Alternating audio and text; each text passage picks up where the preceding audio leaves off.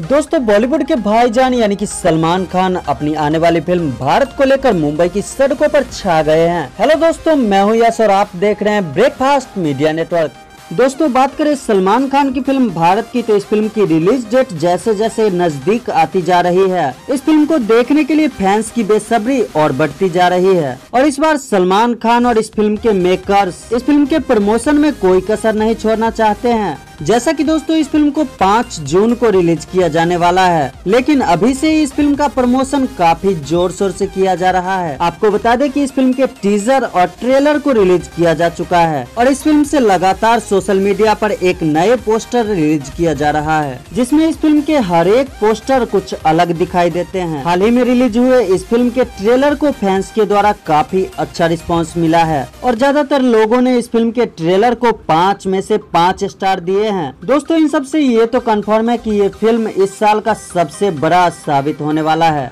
और आपको बता दूँ कि इस फ़िल्म के मेकर्स लगातार सोशल मीडिया से लेकर ऑफलाइन तक काफ़ी ज़ोर शोर से प्रमोशन कर रहे हैं। वही दोस्तों, बात करें 200 करोड़ के बड़े बजट से बनी इस फ़िल्म की तो इस फ़िल्म में सलमान खान के साथ कटरीना कैफ, जैकी श्रॉफ, सुनील ग्रोवर और दिशा पटानी जैसी बेहतरीन कलाकार इस फ़िल्म के लीड रोल में हैं। और ऐसे में जिस तरह से इस फ़िल्म के टीजर और ट्रेलर को फैंस का प्यार मिला है, उस तरह से अगर इस फ़िल्म को भी मिले तो ये फ़िल्म बॉलीवुड के कई रिकॉर्ड को तोड़ने में कामयाब रहेगा। और इस फ़िल्म में सबसे बड़ी खास बात यह है कि इस फ़िल्म में सलमान खान अपने पाँच लुक में दिखाई देंगे, जिन्हें देखना फैंस के लिए और भी एक्साइटमेंट से भरपूर होगा। और इसलिए इस फ़िल्म को हर कोई सपोर्ट ज़रूर करेगा। पर दोस्तों, भाईजान के इस फ़िल्म को आप कितना सपोर्ट करेंगे कमेंट सेक्शन में ज़रूर लिखे और हमारा यह न्यूज़ अगर आपको पसंद आया हो तो इस वीडियो को लाइक करें और ज़्यादा से ज़्यादा शेयर करें ताकि भाईजान के इस फ़िल्म को आपका सपोर्ट मिल सके। सके और अगर आप नए विजिटर हैं तो प्लीज़ इस चैनल को सब्सक्राइब कर लें।